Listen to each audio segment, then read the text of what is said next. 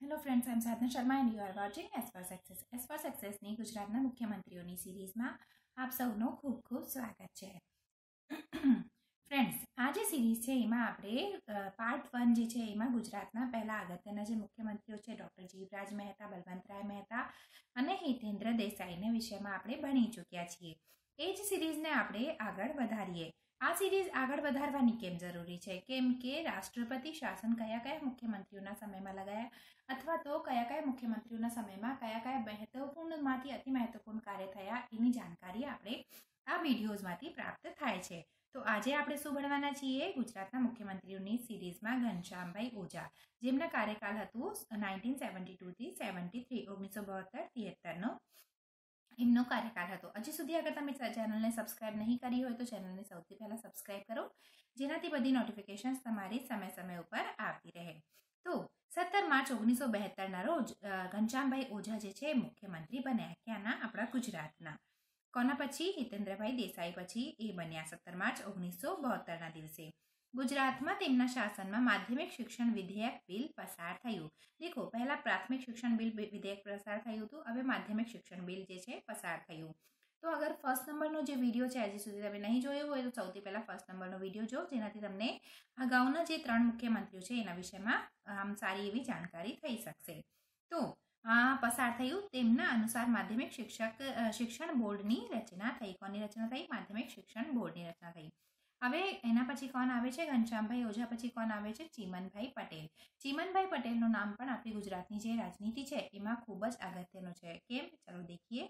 એમના બે કાર્યકાળ રહ્યા, ઓગણીસો તેહત્તરથી ચુમ્મોતેર અને નાઇન્ટીથી નાઇન્ટી ફોર.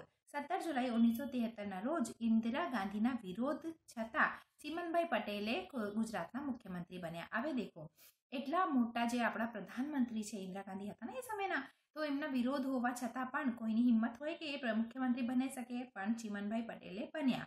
ચીમનભાઈ પટેલ ગુજરાતના સૌથી નાની વયના મુખ્યમંત્રી હતા. પ્રશ્ન અગત્યનો છે. અગર તમારા પાસે પ્રશ્ન એવું પૂછવામાં આવે કે ચીમનભાઈ પટેલ સૌથી નાની વયના મુખ્યમંત્રી કયા હતા ગુજરાતના, તો આપણે બતાવીશું. ચીમનભાઈ પટેલ જે છે એ સૌથી નાની વયના મુખ્યમંત્રી હતા. ચીમનભાઈ પટેલના શાસનમાં અન્નની અછતના કારણે કોની અછતના કારણે અન્નની અછતના કારણે અનાજના ભાવમાં અસહ્ય વધારો થયો કેવી વધારો થયો અસહ્ય વધારો થયો કેમ કે એના જસ્ટ પહેલાં જ થોડા સમય પહેલાં જ આપણા પાસે ચાઇનાને એ બધાના યુદ્ધ થયો હતો. પછી દુષ્કાળ ને એ બધું પડ્યું હતું, તો આ અન્નની અછત થઈ ગઈ હતી. તો અનાજના ભાવમાં કેવો અસહ્ય વધારો થતો હતો. રોટી રોટી રમખાણ અને નવનિર્માણ આંદોલન થયું. કયો આંદોલન થયું? રોટી, રમખાણ અને નવનિર્માણ આંદોલન એમના જ સમયમાં થયું. પ્રશ્ન ઘણી વખત પૂછાયેલો છે. ચર્ચાસ્પદ પ્રશ્ન છે કે રોટી, રમખાણ અને નવનિર્માણના આંદોલન કયા મુખ્યમંત્રીના સમયમાં થયું? તો આપણે એને બતાવી શકીએ. નવનિર્માણ શબ્દ પુરુષોત્તમ માવલંકરે આપ્યું હતું. આ પણ તમારા માટે અગત્યની વસ્તુ છે કે નવનિર્માણ નામનો જે શબ્દ છે એ કોને, કયા જે વિશેષજ્ઞ છે એમને આપ્યું હતું. નવનિર્માણ નામનો જે શબ્દ છે એ પુરુષોત્તમ માવળંકરે આપ્યું હતું. આંદોલનના કારણે ચીમનભાઈ પટેલ નવ ફેબ્રુઆરી ઓગણીસો ચુમ્મોતરના ચુમ્મોતરના દિવસે અમલમાં આવ્યું. શું એમનો રાજીનામો, હે ને? આંદોલનના લીધે કરીને એમને રાજીનામું આપી દીધું. ક્યારે આપી દીધું? નવ ફેબ્રુઆરી ઓગણીસો ચુમ્મોતેરના દિવસે એમને રાજીનામું આપી દીધું. કેમ? કેમ કે એના આ જે અછત છે એ એને પરી, મતલબ કમ્પ્લીટ નહીં કરી શકતા હતા. એટલે એમને રાજીનામું આપી દેવામાં આવ્યું. પછી બીજા વખતના રાષ્ટ્રપતિ શાસનના સમય કે કે, દેખો, આપણે પહેલા વખતનું રાષ્ટ્રપતિ શાસન આપણે ભણી ગયા છીએ, કોના સમયમાં લાગ્યું હતું? અને અગર તમે નહીં જોયો હોય પહેલો વીડિયો તો એના માટે જુઓ. બીજા વખતના જે રાષ્ટ્રપતિ શાસન છે એના સમયમાં કે કે કે કે વિશ્વનાથન ગુજરાતના રાજ્યપાલ હતા. કોણ હતા? વિશ્વનાથન, કે કે વિશ્વનાથન. અને પહેલા વખતના રાષ્ટ્રપતિ શાસનના સમયે કોણ હતા રાજ્યપાલ? એ પણ તમે મેં, તમને મેં બતાવ્યું છે. આ રાષ્ટ્રપતિ શાસન સોળ મહિના માટે અમલમાં રહ્યું. કેટલા મહિના માટે? સોળ મહિના. સોળ મહિના ઓછા નહીં હોતા. આ રાષ્ટ્રપતિ શાસન સોળ મહિના માટે અમલમાં રહ્યું. અઢાર જૂન ઓગણીસો પિચોતેરમાં ગુજરાતમાં જનતા મોરચાની સરકાર બની અને બાબુભાઈ જશભાઈ પટેલ ગુજરાતમાં મુખ્યમંત્રી બન્યા. હવે ઓગણીસો પંચોતેરમાં કોણ મુખ્યમંત્રી બન્યા? જનતા મોરચાની સરકારમાં આપણે જે બાબુભાઈ જયેશભાઈ પટેલ જે છે, એ ગુજરાતના મુખ્યમંત્રી બન્યા. પછી ગુજરાતના જે બાબુલાલ બાબુભાઈ જશભાઈ પટેલ જે છે ગુજરાતમાં પ્રથમ બિન કોંગ્રેસી મુખ્યમંત્રી બન્યા હતા. આ પ્રશ્ન પણ તમને એ પાકું કરવાનું છે. કે શું પ્રશ્ન છે? બાબુભાઈ જશભાઈ પટેલ જે છે, ગુજરાતના પ્રથમ બિન કોંગ્રેસી મુખ્યમંત્રી કોણ હતા? તો બાબુભાઈ જશભાઈ પટેલ. અને ક્યારે બન્યા? અઢાર જૂન ઓગણીસો પંચોતેરના દિવસે. ક્યારે બન્યા? અઢાર જૂન ઓગણીસો પંચોતેરના દિવસે. તો હવે આપણે યાદ રહેશે એ વાત? હમ, તો હવે આપણે બાબુભાઈ જશભાઈ પટેલના વિષયમાં વાંચીશું કે એ કોણ હતા અને એમનો શાસનકાળ કેવો હતો? તો બાબુભાઈ જશભાઈ પટેલ, નોન કોંગ્રેસી મુખ્યમંત્રી તરીકે વિખ્યાત છે. અઢાર જૂન ઓગણીસો પંચોતેરના રોજ બાબુભાઈ જશભાઈ પટેલ ગુજરાતના મુખ્યમંત્રી તરીકે સ્થાન લીધું.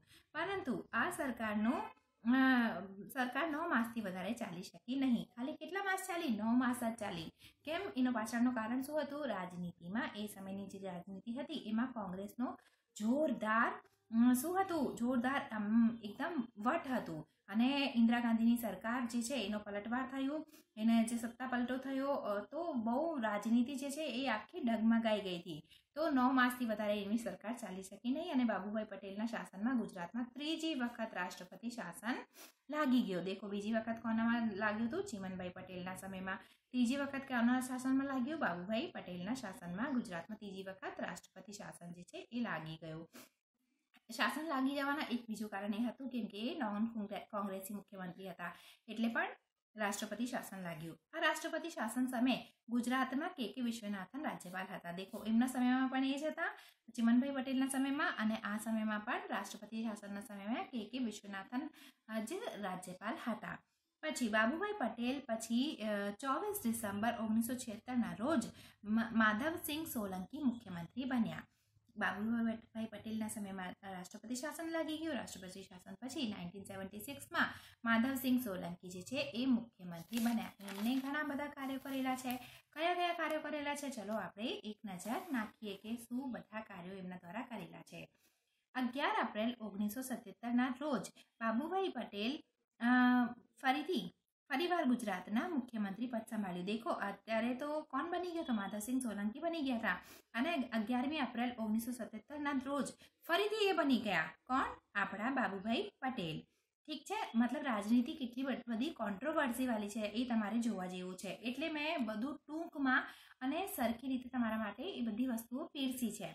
તેમના શાસનમાં વર્ષ નાઇન્ટીન સેવન્ટી નાઇનમાં મોરબીમાં પૂર હોનારત થઈ અને મચ્છુ ડેમ તૂટ્યો હતો. તો એ પ્રશ્ન તમારે ફરીથી જોઈ લેવા જેવું છે કે બાબુભાઈ પટેલમાં ના સમયમાં મોરબીમાં શું થયું હતું? તો મોરબીમાં પૂર હોનારત આવી હતી અને મચ્છુ ડેમ જે છે એ તૂટી ગયો હતું.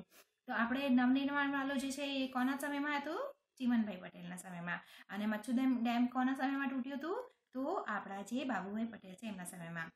બાબુભાઈ પટેલ લોક, લોકપાલ અને લોકપાલની નિમણૂક સ્થાનિક સ્વરાજ સંસ્થાઓની ચૂંટણી બંધ બંધ મિલનું સંચાલન વગેરે જે પ્રશ્નો છે એના હલ મતલબ એ બધા એના હલ કરવાના પગલાં લીધા હતા. તો એ બધા એમના માટે એક અગત્યના કામ હતા કે લોકપાલના કામ, પછી લોકપાલ જે છે એની નિમણૂક કેવી રીતે કરવાની, સ્થાનિક સ્તરે અને સાથે સાથે સંસ્થાઓની જે ચૂંટણી છે, એના બંધ મિલની જે જે સંચાલન છે, એ બધું જે છે, એ બધા પ્રશ્નોના એમને નિરાકરણ કર્યા હતા. તેમના શાસનમાં ભાવનગર યુનિવર્સિટીની સ્થાપના થઈ હતી. કઈ યુનિવર્સિટી? ભાવનગરની જે યુનિવર્સિટી હતી, એની સ્થાપના જે છે, એ કોના સમયમાં થઈ હતી? આપણે બાબુભાઈ પટેલના સમયમાં. બાબુભાઈ પટેલના શાસનમાં જ શિક્ષણમાં શિક્ષણમાં ten plus two plus three pattern અમલમાં આવી. આ તમને યાદ રાખવા જેવું છે કે ten plus two plus three જે પેટર્ન છે એ કોના શાસનકાળમાં, કોના, જે કયા મુખ્યમંત્રીના શાસનકાલમાં અમલમાં આવી તો બાબુભાઈ પટેલના શાસનમાં જ એ અમલમાં આવી. પછી જાન્યુઆરી ઓગણીસો અઠ્ઠાત્તરમાં અન્ય પછાત જે અન્ય જે પછાત લોકો છે એના માટે, પછાત જે જાતિઓ છે એમના માટે દસ ટકા અનામતની જગ્યા રાખવા માટે નિર્ણય લેવાયો. આ પણ અગત્યનો પ્રશ્ન છે કે દસ ટકા અનામત જે છે, એ પછાત મતલબ જાતિ જે છે, એના માટે ક્યારથી આપણા ગુજરાતમાં લાગુ થયું તો? આ જે છે, અન્ય પછાત વર્ગ એટલે કે ઓબીસી એના માટે દસ ટકા જે આરક્ષણ છે એ બાબુભાઈ પટેલના સરકારમાં. ગરીબી દૂર કરવા અને અંત્યોદય યોજના અમલમાં આવી. કઈ કઈ યોજના? ગરીબી દૂર કરવી અને અંત્યોદય યોજના જે છે, એ કોના સમયમાં અમલમાં આવી? આપણા બાબુભાઈ પટેલના સમયમાં. પછી છેલ્લે એમને શું કામ કર્યું? મતલબ કે એમને ઘણા બધા કામ એમના સમયમાં થયા હતા. તો પણ બહુ જ વિવાદાસ્પદ મુખ્યમંત્રી તરીકે એમનું શાસનકાલ ગયું હતું.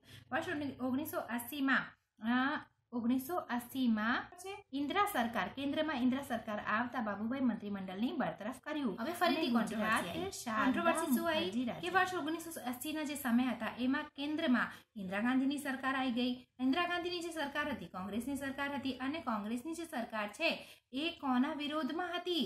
બાબુભાઈ પટેલના વિરોધમાં હતી. એના લીધે કરીને પહેલા પણ એમનો ઇસ્તીફો એકવાર સ્વીકાર કરવામાં આવ્યું હતું. તો જેવી રીતે એ ઇન્દ્રાની સરકાર ફરીથી આવી તરત જ એમનું જે મંત્રીમંડળ છે એને બરખાસ્ત કરી દેવામાં આવ્યું અને શારદા મુખર્જી જે છે એ સમયમાં રાજ્યપાલ હતા. તો દેખો, ફરીથી રાષ્ટ્રપતિ શાસન લાગી ગયું. પછી આમ ગુજરાતની રાજનીતિમાં બાબુભાઈ પટેલના મુખ્યમંત્રી પદ હેઠળ બે વખત રાષ્ટ્રપતિ શાસન લાગ્યું. આ તમારે પ્રશ્ન યાદ કરી લેવાનું છે. પ્રશ્ન બહુ જ અગત્યનો છે કે બાબુભાઈ પટેલના મુખ્યમંત્રી પદ હેઠળ બે વખત રાષ્ટ્રપતિ શાસન અમલમાં આવ્યું. એક વખત રાજ્યપાલ અલગ હતા, બીજી વખત રાજ્યપાલ અલગ હતા. તો આ જે છે ને આપણું, આ જે વીડિયો છે, એ વિડીયોના મારફતે આપણે કેટલી અગત્યની વાતો જાણી લીધી. હવે ખાલી અગર તમને પ્રશ્ન હું એવી રીતે પાકું કરાવતી, કયા મુખ્યમંત્રીના સમયમાં બે વખત જે રાષ્ટ્રપતિ શાસન છે એ લાગુ થયું. ટેન પ્લસ ટુ પ્લસ થ્રીની જે પદ્ધતિ છે એ ક્યારે કયા મુખ્યમંત્રીના પદ હેઠળ લાગુ થઈ, તો તમે કન્ફ્યુઝ થતા પણ હવે જ્યારે આપણે આખી કહાની, આખી વાર્તા જ્યારે આપણે સાંભળી લીધી, તો આપણને હવે યાદ રહી જશે. દેશમાં આંતરિક કટોકટી સામે આજે બાબુભાઈ એ જે છે સફળતાપૂર્વક એમને શાસન કર્યું હતું. કટોકટી દેશમાં જ્યારે હતી, ઇન્દિરાનું શાસન જ્યારે આવ્યું, ઇન્દિરા ગાંધીના શાસનના સમયમાં ઘણી બધી કટોકટી હતી. એવા સમયમાં આપણા જે બાબુભાઈ પટેલ છે, એમને બહુ જ શાંતિથી અને ધીરજના ધીરજથી જે છે શાસન જે કાર્ય છે એ કમ્પ્લીટ કર્યું. તો વીડિયો તમને કેવું લાગ્યું? કોમેન્ટ બોક્સમાં કોમેન્ટ કરીને જરૂર બતાવજો, જેનાથી આગળ વીડિયો એ પ્રકારના આપણે બનાવી શકીએ. Thanks for watching S for success